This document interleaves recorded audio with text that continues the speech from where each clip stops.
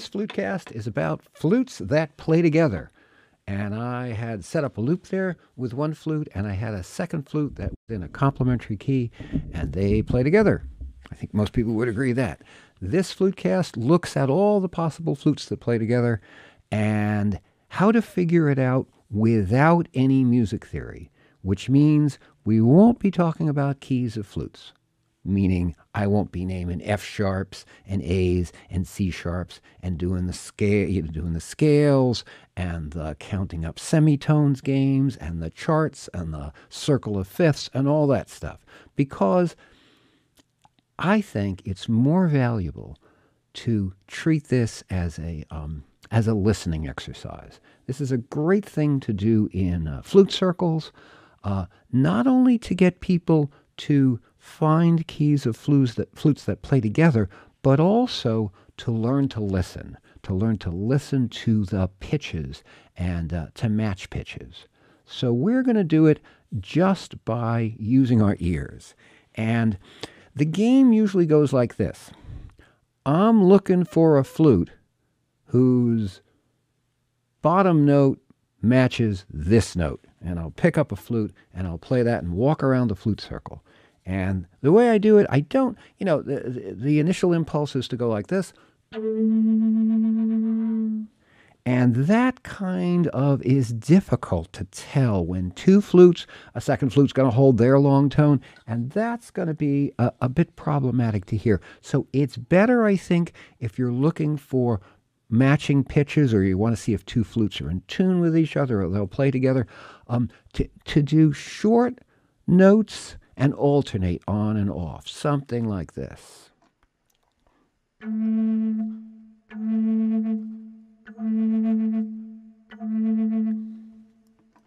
Okay, now if I do that, it's easier to interleave it. So what I'm going to do is I'm going to record that. I have a loop pedal set up here, and I got a switch on the floor. I'm going to record that and then go look for another flute that is consonant.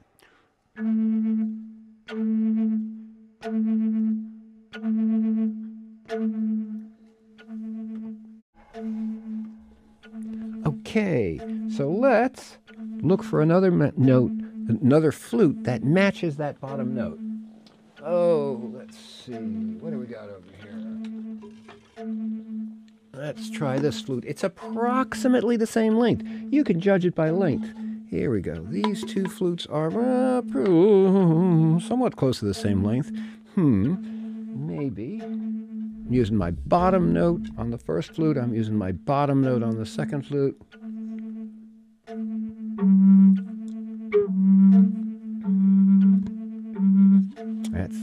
Mm-hmm. not it. Not going to work. Let's try another one.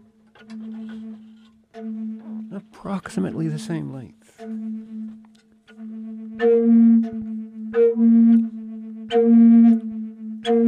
Not quite it. Let's pick up another flute. Let's try this flute here, which looks surprisingly similar to the first flute because I don't have two flutes of the same key. However,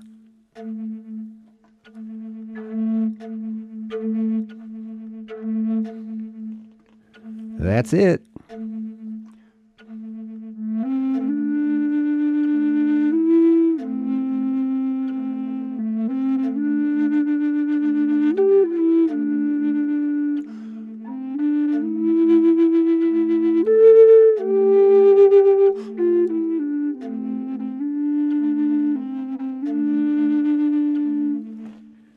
So that's the first rule.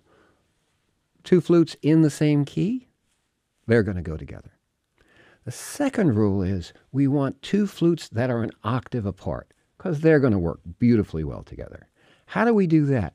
Same idea of the exercise, except if I've got this big low flute, I'm going to sound it on the top note and then go look for a flute whose bottom note matches my top note.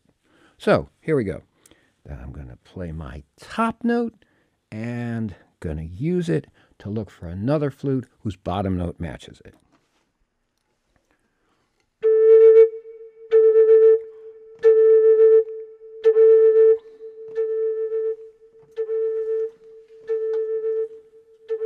Okay, let's pick up some, let's try this flute.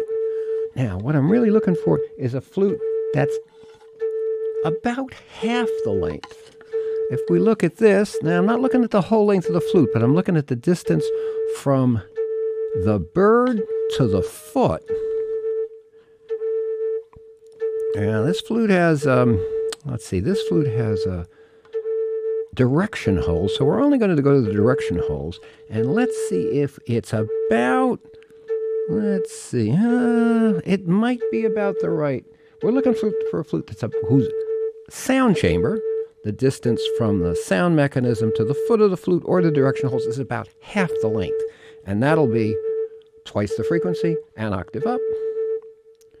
Here we go, and I'm going to use my bottom note on this.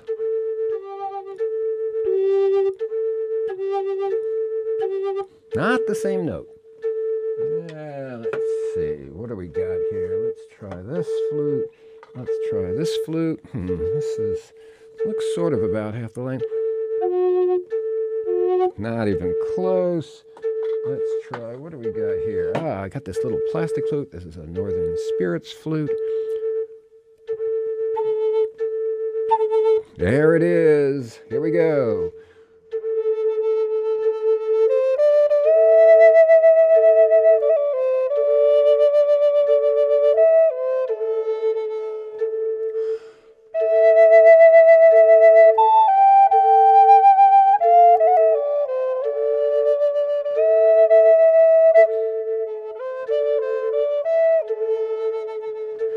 I'm just playing this single note on the bottom flute.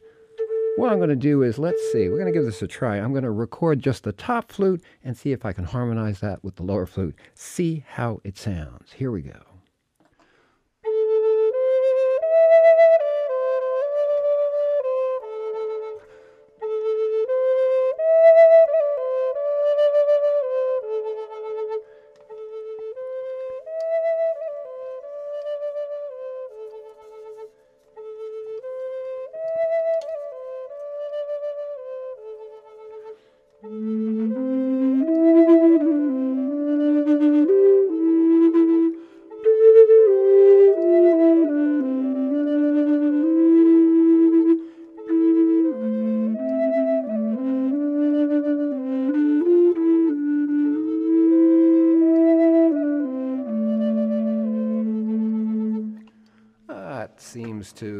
Have worked. That seems to have worked pretty well.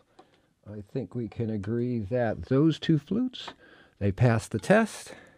The lower flute, I played the top note. The upper flute, I played the bottom note. If they match, they're an octave apart. It works.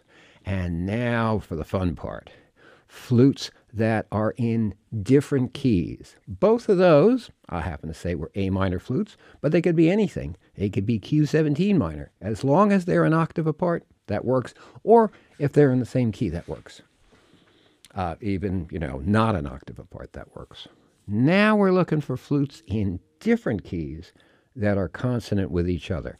The game is exactly the same. It's very easy. I'm going to pick up the bottom flute I'm going to play this note, four fingers closed.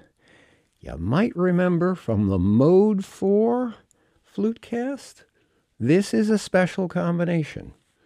You're eventually going to go look up the Mode 4 fingering, but for starters, we're just going to play this note, and I'm going to record it with my handy looper and see what happens.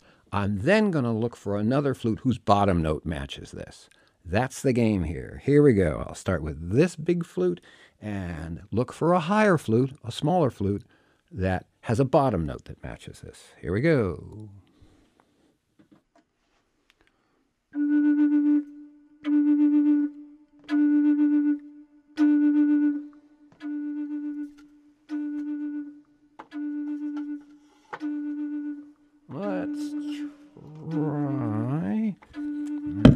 Try this flute. We tried this flute before.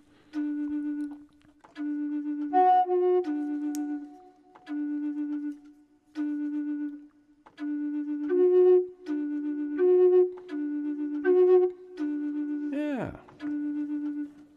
doesn't match, but it did sound pretty good, didn't it? It doesn't match. Let's give it a go. Okay, it doesn't pass the test. Let's see what happens if we try other notes. We start on the bottom note, sounds pretty good.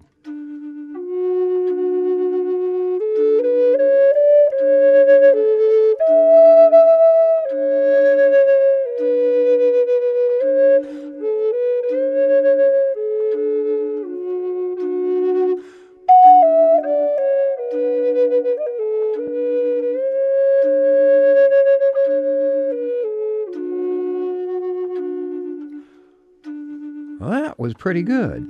However, if I carry that experiment a little bit further, I'm going to record this upper flute, and then we're going to try it against the bottom flute and see if it works on other notes of the bottom flute. Here we go. I'm going to stop this recording and I'm going to record this upper flute and then go back to the lower flute that we think might match. This is a listening experiment. It's an experience. It's not a test. We're looking for maybe a different combination of flutes that might work. Okay, so here we go.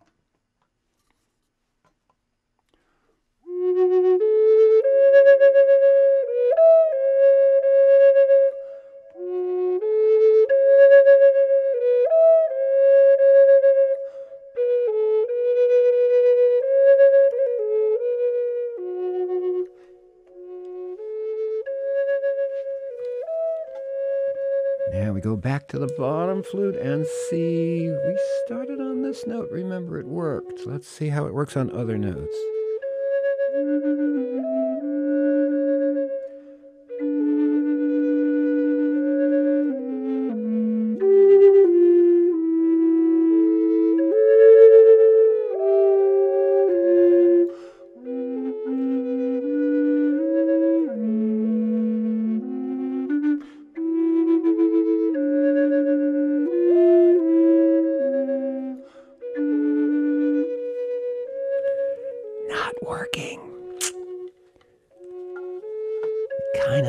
Suspected that. Kind of suspected that because it didn't pass the test, but it was worth giving it a try. Cause nobody gets injured, nobody gets damaged by this. We're just making sounds. It's okay if they're out of tune. We'll just move on. Let's go back to the test. The test was play this note and find a flute whose bottom note matches it. Here we go.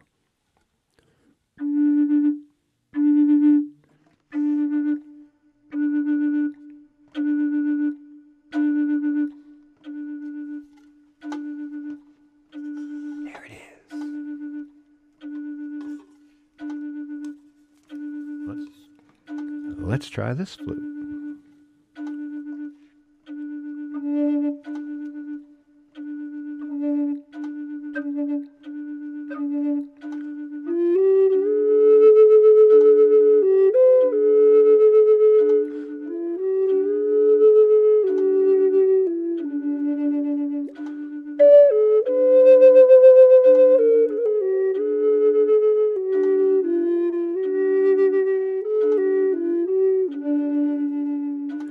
Okay, it works against that one note.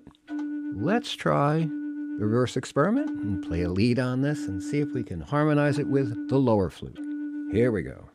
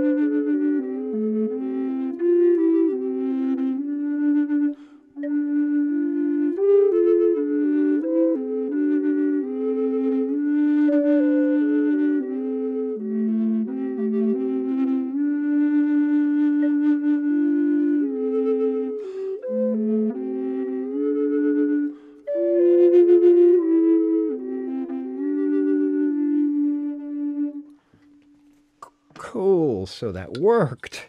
And the game was again four fingers down, play that note, and find another flute whose all holes closed match it. And these two flutes work together. The trick is on the lower flute, and typically if you're the more experienced player, you'll go around a flute circle and you'll look for a less experienced player who's going to play the regular pentatonic minor scale, keeping the third finger down, third finger from the top down, and playing that. And you're going to play in mode four. Briefly, mode four is you keep your fourth finger from the top down and you play the other fingers, including the the unloved third finger from the top all the way up the scale. So this is your new scale on the lower flute. These two flutes match. And if you want to go deeper into that, go find the Mode 4 flute cast and learn all about Mode 4. It is a whole new world. It is a whole second scale in every flute, and it's extremely useful. And it's very useful for doing these kind of duets. What you do is, and I did this for better part of a year, I found flutes that work together and I put little blue sticky tape thingies on the back of my flutes and I wrote the, the other key flute that it worked with. And eventually I made myself a chart and eventually I learned the chart. Uh, I remember most of it, or most of the time I remember most of it. Uh, so that's a fun game to have and uh, have fun with it. Flutes that work together. Bye.